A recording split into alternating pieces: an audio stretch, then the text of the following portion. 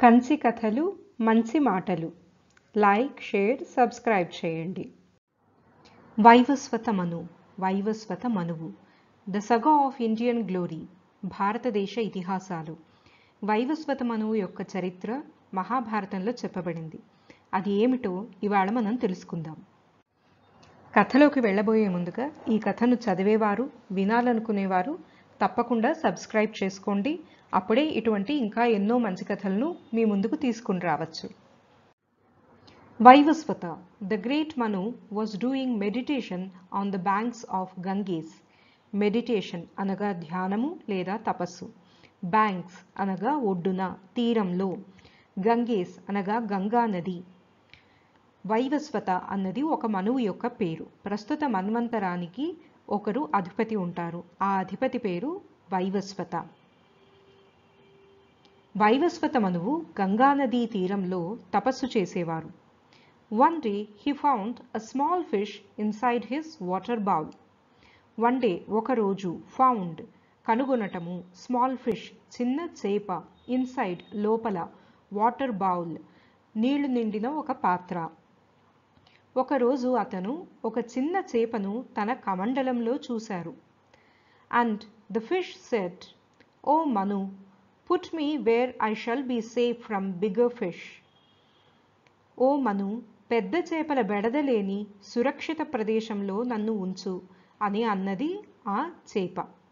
Bigger fish పెద్ద చేపలు safe సురక్షితంగా.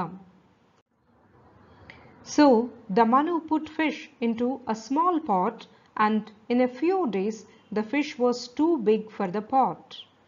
మనువు ఆ చేపను ఒక కుండలో పెట్టగా ఆ చేప కొద్ది రోజుల్లోనే ఆ కుండ కన్నా పెద్దదిగా పెరిగింది. Was too big for the pot అనగా ఆ కుండకు ఆ చేప చాలా పెద్దది అయ్యింది అని అర్థం.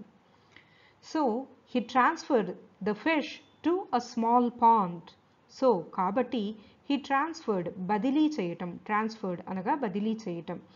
స్మాల్ పాండ్ చిన్న సరస్సు. కాబట్టి ఆ చేపను కుండ నుండి ఒక సరస్సుకి చేర్చారు. Soon the fish was too big for the pond too soon త్వరలోనే the fish was too big చాలా పెద్దదిగా పెరిగిపోయింది ఫర్ ద పాండ్ టూ ఆ సరస్సును మించి ఆ చేప పెరిగిపోయింది. త్వరలోనే ఆ చేప ఆ సరస్సును మించి పెరిగింది. The Manu transfer it to the Ganges. ఆ మనువు ఆ చేపను గంగా నదిలోకి వదిలెను. The fish still kept growing. One day it said O Manu mother Ganges is not deep enough for me. The fish చేప స్టిల్ కెప్ట్ గ్రోయింగ్ గ్రోయింగ్ పెరగడము still kept ఇంకా పెరుగుతూనే ఉండింది.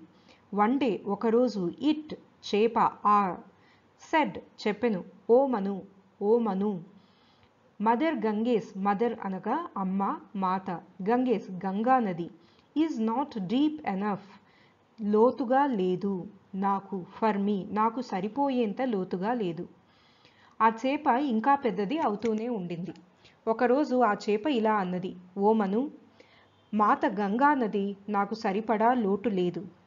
So I'm going out in the open sea అందువలన నేను పెద్దదైన సముద్రానికి వెళుతున్నాను. సీ అనగా సముద్రము. గోయింగ్ అవుట్ వెళ్ళటము బయటికి వెళ్ళటము.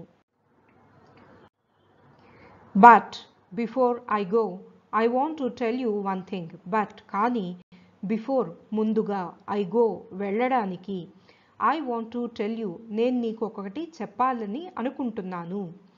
కానీ వెళ్ళడానికి ముందు మీకు ఒక విషయం చెప్తాను. There is a huge flood coming huge చాలా పెద్ద. ఫ్లడ్ వరద కమింగ్ వస్తున్నది. ఒక పెద్ద వరద రాబోతోంది. The entire creation will be destroyed destroyed నాశనం అవ్వటం. క్రియేషన్ సృష్టి ఎంటైర్ మొత్తంగా విల్ బీ జరగబోతోంది. ఈ సృష్టి మొత్తం నాశనం అవుతుంది. Obtain a boat and fill it with seeds of all important plants. ఒక నావను తెచ్చి దాన్ని ముఖ్యమైన చెట్ల విత్తనాలతో నింపు.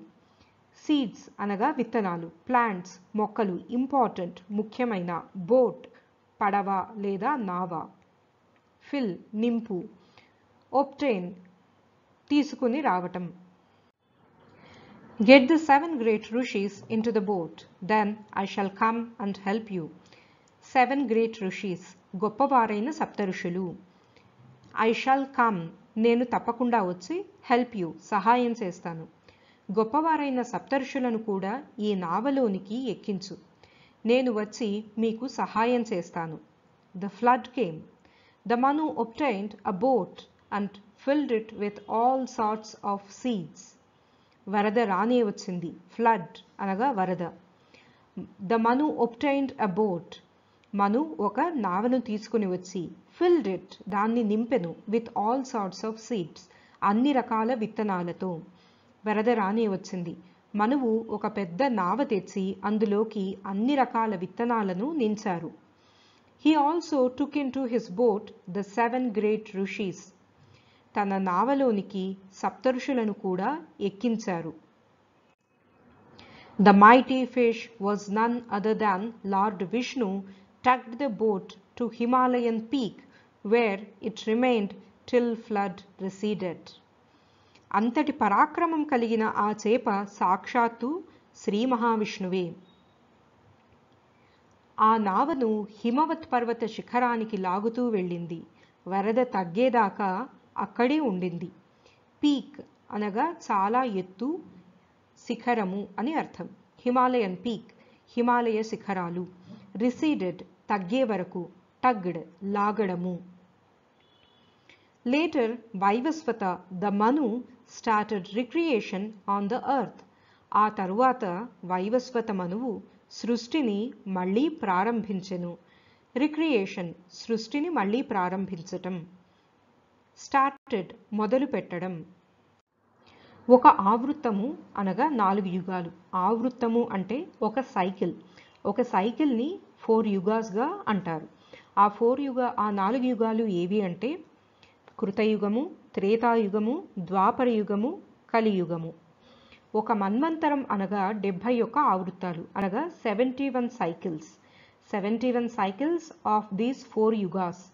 అనగా కృతయుగము త్రేతాయుగము ద్వాపరయుగము కలియుగము. తరువాత మళ్ళీ కృతయుగము త్రే త్రేతాయుగము ద్వాపరయుగము కలియుగము. ఈ విధంగా డెబ్భై ఒక్కసార్లు జరిగితే దాన్ని ఒక మన్వంతరం అని అంటారు. కల్పము అన్నది బ్రహ్మ యొక్క ఒక్క రోజు. పద్నాలుగు మన్వంతరాలు బ్రహ్మ యొక్క ఒక్క రోజులో ఉంటాయి. వైవస్వత మనువు. మనం ఇప్పుడు తెలుసుకున్న మనువు యొక్క చరిత్ర వైవస్వత మనువు. ఈ వైవస్వతమనువే ఇక్ష్వాకు వంశ మూల పురుషుడు శ్రీ మహావిష్ణువు ఇదే ఇక్ష్వాకు వంశమునందు శ్రీరాముడిగా అవతరించారు. ఈ ఇతిహాసం మీ అందరికీ నచ్చింది అని అనుకుంటున్నాను. ఇంకా ఇటువంటి ఎన్నో ఇతిహాసాలను కథలను తెలుసుకోవాలనుకుంటే కంచి కథలను తప్పకుండా సబ్స్క్రైబ్ చేయండి షేర్ చేయండి. ఇక కథ కంచికి మనం ఇంటికి. ఇంకొక మంచి కథతో మళ్ళీ మీ అందరినీ కలుస్తాను. కంచి కథలు. తప్పకుండా సబ్స్క్రైబ్ చేసుకోండి. కథ కంచికి మనం ఇంటికి.